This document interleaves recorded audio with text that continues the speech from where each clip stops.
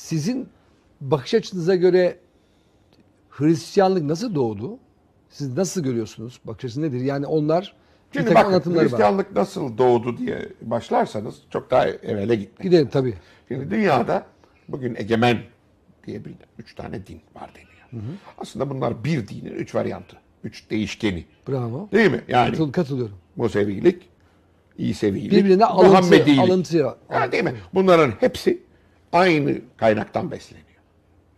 Bu kaynak, beslendikleri kaynak Orta Doğu din geleneği. Kim kimden beslendi? Musevilik ta Sümer, Babil, Gider. Akat'tan gelen bir din geleneğinden besleniyor. E bunun da ortaya çıkması 1874'te Kuyuncuk'ta yapılan değil mi kazılardır. Orada ilk defa George Smith bizim daha önce sadece Tevrat'ta olduğunu zannettiğimiz bir sürü hikayenin Babillerde olduğunu gösterdi. Arkasında bir baklar Sümerlerde de aynısı çıktı. Evet. Değil mi? Yani İzosudra denen adam Nuh. Ondan sonra Babil'e geliyorsunuz. Hasis Adra denen adam Nuh. Böyle böyle böyle. Bir bakıyorsunuz ta şeye kadar geliyor. Musa'ya kadar geliyor. E, Musa'dan önceki tarihe bakıyorsunuz. Musa'dan sonraki tarihe bakıyorsunuz. Bir sürü peygamber adı sayılıyor. Veya patriarklar mesela. İbrahim'den itibaren gelen patriarklar var. Bunlar bakıyorsunuz toplum liderleri. Yani Yuşa'ya bakıyorsunuz adam general ya. Doğru. Yani değil mi? Orada Mesela Davut, etki... Davut'a biz peygamber diyoruz. Hey, bunu da adamcağıza diyoruz kitap inmiştir işte Rebun yabancıların psalm dedikleri. E Davut'un bir askerin karısına sahip olmak için adama çaktırmadan gönderdiğini, şey, komutanına gönderdiğini, eline verdiği mektupta da bu adamı mutlaka temizleyin dediğini. E bu da tarih yazıyor ya. Peki, E şimdi yani bu tarihi okuduğunuz zaman bu bir insan tarihi. Anormal de değil bunlar. Her tarafta olmuş. yani Bunların insan hiçbir özelliği olmadığını görüyorsunuz. hiçbir özellikleri yok. Yani burada bir toplum, İsrailoğulları toplumu, daha doğrusu Sami gelenek. İsrailoğulları toplumu Sami geleneğe sahip çıkıyor. Tesadüfen yaşadıkları yer Judea. Tamam. Judea'da Roma İmparatorluğu'nun bir parçası. Orada olan bazı toplumsal hadiseler Roma'nın içine yansıyor. Hristiyanlığın bütün şansı, şimdi İsa ben yeni bir din ortaya atıyorum diye çıkmıyor ki. evet. Bütün reformcular gibi. Ben diyor esas Yahudiliğe dönmek istiyorum. Değil mi? E, esas Ve yanlış olduğunu düşünüyor Yahudinin. Evet. Neyse. Değil mi? Ama ondan sonra değil mi bizim Paulus asıl adı Saul olan Paulus bakıyor ki ya yani millet bu yeni dine dönmek istemiyor. Çünkü sünnet var işin içinde. Domuz yememek var. E Anadolu nüfusu o zaman fakir. Domuzu ortadan kaldırdın mı aç kalacak adam. E, Paul bakıyor tamam diyor sünnete de lüzum yok domuzu da yiyebilirsiniz. Oldu mu Hristiyanlık sana? Sadece o değil tabii. Başka şeyler. böyle ama adım adım, Temel, adım, evet. adım adım gelişiyor. Değil mi? Petrus.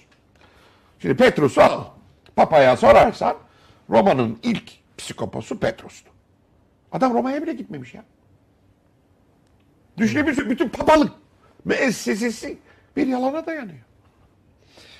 Tabii, tabii çok şey bir iddia. Ben tabii Hayır onu- iddia değil bu tarihin gösterdiği açıkça 19. yüzyılda İslamiyet e, yeniden doğuşu veya e, o da bir de reform mu gerekti tekrar Hristiyan şeyde Hristiyan Hayır sonra- İslamiyet Bedevi toplumuyla ilgili o da öteki tarafla ilgili değil.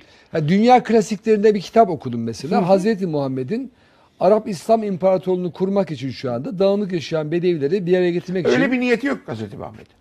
Arap İslam İmparatorluğu kurmak diye bir niyeti yok. Önce kendi toplumunu adam etmek gibi bir niyeti var.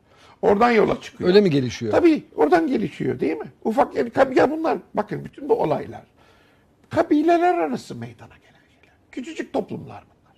Akıllı bir tüccar Ak- akıllı bir tüccar. ve 40 yaşında kendinden yaşça büyük bir kadınla evleniyor. Hayır. Kendisi O 25 zamanın yaşında, şartlarında. kendisi 25 yaşında, karısı 40 Karısından Ha, bahsediyorum. tabii. Evleniyor. 40 yaşındaki 40 yaşında ve Ayşe Hanım'la evleniyor. İşte Arabistan'ı geziyor. Değil mi? Ticaret yapılan yerlere gidiyor. Şimdi ticaret yapılan yere giden adam bir sürü adamla da karşılaşır. Değişik kültürlerin etkisinde kalır. Bizim millet gibi. Millet yani bilim niye millette icat edilmiştir? E çünkü millete İngiltere'den kalay çeken kaptan da millete geliyor. Mısır'dan buğday getiren kaptan da millete geliyor. Efendime söyleyeyim Kuzey Afrika'dan gelen de millete geliyor. Fenike'den de gelen millete geliyor. Bunların hepsi bir araya geliyorlar. Evet. Akıllı bir adam orada çok şey öğrenir. Değil mi? Anaximandros da onun için orada çok şey öğreniyor. Orada bir bilgi paylaşım var. Bilgi diyorsunuz. paylaşım var. Şimdi Ve tüccar bir dağınık adam, yaşayan bedevileri de bir araya getirdi. tüccar bir adam bir kere dünyayı görüyor. Zaten cennet cehennem tanımı Hristiyanlıkta olan aynısı. Değişen bir şey yok orada yani. Aynı tanımlar var. Ya bu yani. Sümer ta Dilmun'a kadar gidiyor. Gidiyor. Değil mi? Yani bunların hiçbirisi yeni kavramlar değil. Bunlar ama Orta Doğu'ya mahsus kavramlar.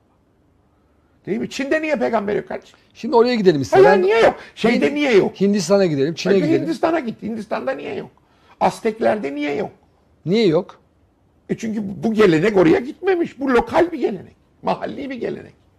Yani o zaman şöyle diyebilir miyiz mesela Arap İslam İmparatorluğu oluşmaya başlayınca mesela Türklerin Müslümanlaşması Moğollarla savaş başlayınca Türklere destek istiyor ve Türkler mesela 200-300 direniyorlar mesela İslamiyet'e karşı. Müslümanlığı hemen kabul Efendim, etmiyorlar. Türklerle yani Türklerin İslam olmalı, Müslüman olmaları tesadüf oradalar çünkü. Bir uç bir uçları orada, bir uçları da ama Pasifik Okyanusu'nda. Aynen. Ha, buradakiler Etkileniyorlar. Oluyor. Oradakiler olmuyor. Ben Altay Dağları'nda çalışırken benim bir bekçim vardı. Türk adam. Türkçe konuşuyoruz. Neydi o? Elinde Bud- Budist. Budist. Tesadüf. Oradan etkilenmiş, Oradan taraftan. etkilenmiş. Yani Uygur, sen manikeist oluyorsun. Değil mi? Peki rekarnasyona inanıyor Hindistanlılar. İnanabilirler. Yani herkes her şeye inanabilir. Yani e, Descartes'in çok güzel bir lafı vardır. Ne diyor? Diyor ki dünyada bir filozofun iddia etmeyeceği kadar saçma hiçbir şey yoktur. Her şey iddia edilir. Güzel. Yani şimdi reenkarnasyonu iddia ediyor bu adam. E, etsin. Ama Evet. bunu savunabiliyor mu? Hayır. Yani değil mi? Bunu savunabilmesi için demesi lazım ki kardeşim şu testleri yaparsan sen de göreceksin. Böyle bir test sunamayız.